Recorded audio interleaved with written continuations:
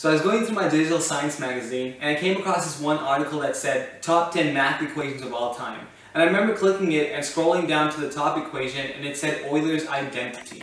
And what Euler's identity is that e to the i pi plus 1 equals 0. And I remember looking at that and going, what? This doesn't make any sense. E, that's just the base of the natural logarithm. I, that's an imaginary number, is the square root of negative 1. And pi is a ratio of the circumference of a circle to its diameter. How is E, I, and pi connected? How, and how does this equal negative 1?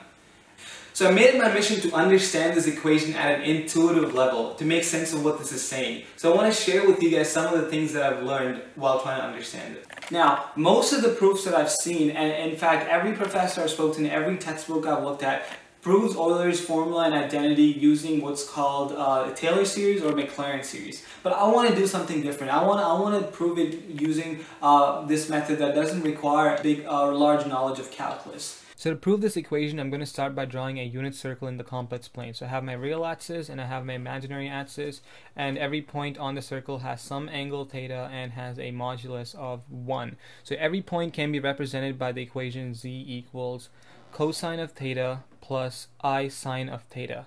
And if I take the derivative of both sides with respect to theta, I get negative sine of theta plus i cosine of theta. It's not very obvious, but I can actually factor out an i from the right side and write it as i times i sine of theta plus cosine of theta, which is nothing but dz d theta is equal to i times z. Now, if I do a little bit of rearrangement and take the integral of both sides, I get ln of z is equal to i times theta. And notice I didn't have to put the absolute value symbol there because every point on the circle is defined in the ln function. So this can be rewritten as e to the i theta is equal to cosine of theta plus i times the sine of theta, which is what's called Euler's formula, which is a powerful tool in mathematics that can be used in many fields like differential equations. Now in the case where I put in a pi, you see how I can get Euler's identity. So e to the i pi is equal to the cosine of pi is just negative 1 and sine of pi is 0. This can be rewritten as e to the i pi plus 1 equals 0, which is what's called Euler's identity.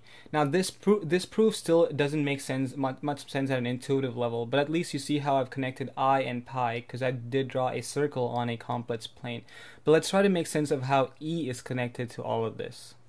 To make sense of how e is connected to all this, I'll have to look at the definition of what it means to raise e to an exponent. So the e to the x is equal to the limit as n goes to infinity of 1 plus x over n to the nth power. In our case, x is equal to i times pi.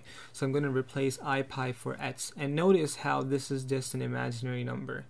So let's see what it means to raise an imaginary number to the nth power. Let's see what happens when you let n get bigger and bigger in our case. So this is what you get when n equals 1 and n equals 2. And as I let that go to infinity, you see it gets closer to negative 1. So to make sense of what it means to raise an imaginary number to, to the nth power, we have to use something called the De Moivre's formula. So let's say z is some imaginary number a plus bi. De Moivre's formula states that z to the nth power is equal to its modulus to the nth power times the cosine of n theta plus i times the sine of n theta. So in our case, we want to know 1 plus pi over n to the nth power. So if I replace, uh, if I write this De Moivre's formula in terms of um, 1 and pi, pi over n, I get 1 plus pi over n squared to the n over 2 power, and I get this whole equation right here. So we want to know uh, what happens when n goes to infinity. So if you notice, for the sake of time, I will not prove this, but that goes to 1 this goes to pi, and this can be found using L'Hopital's rule. If you just plug in a really big number for n, you see you get something that's really close to 3.14.